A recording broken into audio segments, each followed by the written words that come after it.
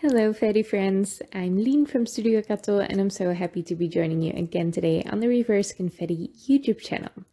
Today I have a very very simple card to share with you. It's one of my favorite designs to do with small critter stamps. I've definitely done this before but I thought these ducks were perfect for it so I had to do it again. I'm going to be using the Spring Pals stamp set by Reverse Confetti, but first I am just drawing a guideline in pencil on my watercolor cardstock. Um, I used the grids uh, or the grid lines on my grid mat to line up my ruler and I just drew a, a line a centimeter from the bottom edge the measurements doesn't matter, but yeah, that's what I did. I am going to be using the Spring Pals stamp set, like I said, and I put the large duck and the small ducklings on two separate acrylic blocks. You don't have to do this, but I am also going to be stamping these on the envelope later, so I figured it would be easier to just keep them on the blocks.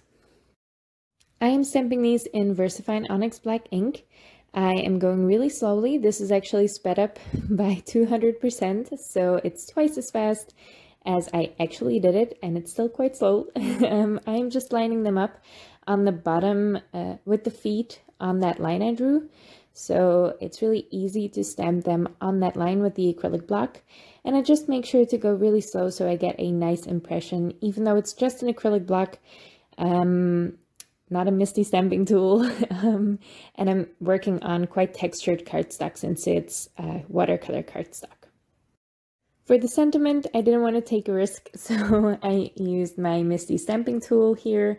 I lined it up in the center of the panel and I just stamped it in that same black ink. I can now emboss this all at once because this ink stays wet for a long time and embossing powder also just Embossing powder wants to stick to dry cardstock most of the time. So even if your ink is almost dry, it will still stick to your ink. You don't have to rush stamping and embossing at all. If you use ink that is meant for embossing, you will have no problems at all if you wait a little longer. Now all that's left to do is color these ducks and they're so easy to color. I use some watercolors because I'm in a watercolor mood these days. I get moods for coloring. Sometimes I just like to use alcohol markers for months on end and not touch my watercolors at all. Now I'm in my watercolor phase. So I'm having a lot of fun with these Karin brush markers and I just add a, a little bit of color to the shaded area of the ducks and the ducklings and then I blend it out with a paintbrush just and and just some clean water.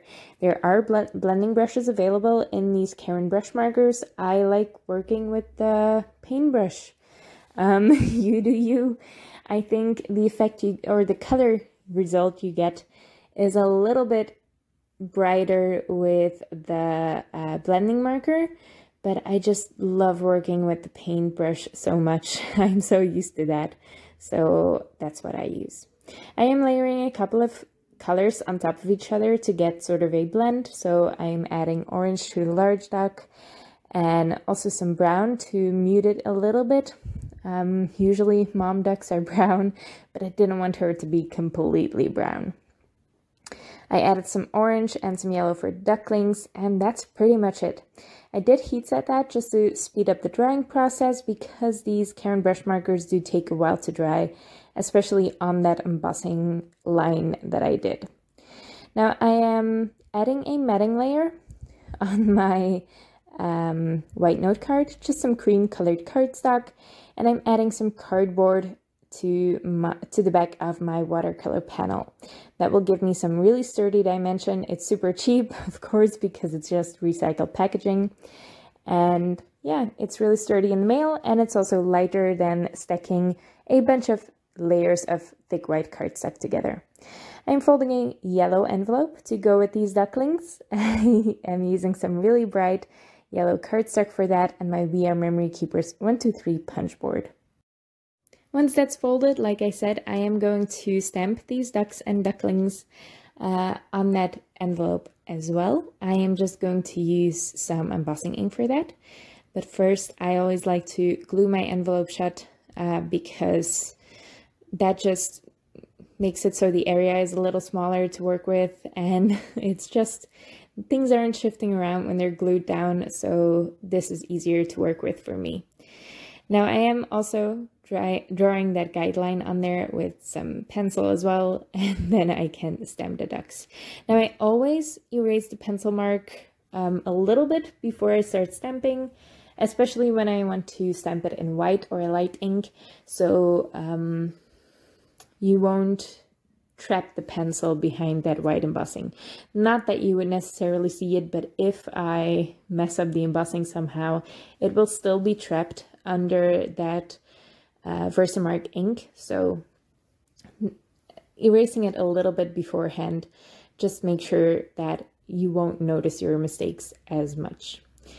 I am just adding some wow wow bright white super fine embossing powder and heat setting that and then you have that fun repeat design of the ducks and the ducklings uh, on the envelope and the card as well i love this simple card it's so fun to do you can do this with almost any critter stamp, any small critter stamp. It's such a fun design. And I love, love, love that sentiment from the Spring Pals stamp set as well. I'm a lucky duck to have a friend like you. It's so fun and so punny. I love punny sentiments for critter stamps. I hope you like the card. I hope you like the video. If you did, make sure to leave a thumbs up on this video and leave your thoughts in the comments below. I would love to read them. You can also subscribe to the Reverse Confetti YouTube channel for a new video every week.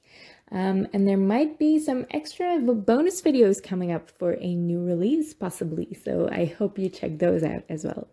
Thank you so much for watching, and I hope to see you next time.